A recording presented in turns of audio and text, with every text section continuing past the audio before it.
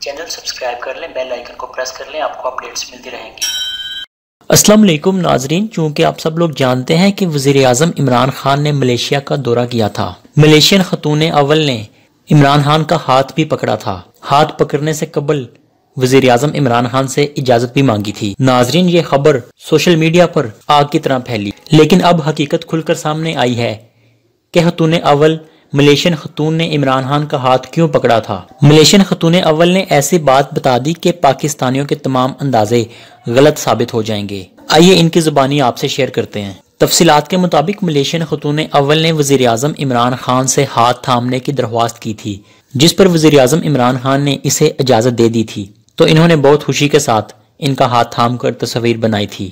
اب اس حوالے سے خاتون اول نے ایک بیان بھی جاری کیا، جسے سن کر آپ حیران ہو جائیں گے۔ نجی T V channel Dunya news کے مطابق ملیشین خاتون اول نے بتایا ہے کہ عمران خان انہیں ماں کہتے ہیں اور ملیشین خاتون عمران خان کو اپنا بیٹا تصور کرتی ہیں۔ اور صرف اور صرف یہی وجہ تھی کہ ملیشین خاتون اول نے عمران خان کا ہاتھ پکڑا، صرف اور صرف اپنا بیٹا تصور کرتے ہوئے۔ خاتون اول کا کہنا تھا کہ عمران خان میرے بیٹوں جیسے ہیں۔ انہوں نے مزید کہا کہ عمران خان سٹار ہونے کے باوجود دو بار ملیشیا آئے، جس سے ہمیں بہت خوشی ہوئی تھی۔ ناظرین، آپ کو بڑی خبر سے آگاہ کرتے ہیں کہ ملیشین خاتون اول نے یہ بات ثابت کر دی کہ عمران خان میرے بیٹوں جیسے ہیں اور عمران خان کی میں ماں ہوں۔ اس خبر کو لے کے اپنی رائے کا اظہار نیچے کمنٹ میں ضرور کریں۔ اس ویڈیو کا مقصد صرف اور صرف آپ کو اس تازہ خبر سے آگاہ کرنا تھا۔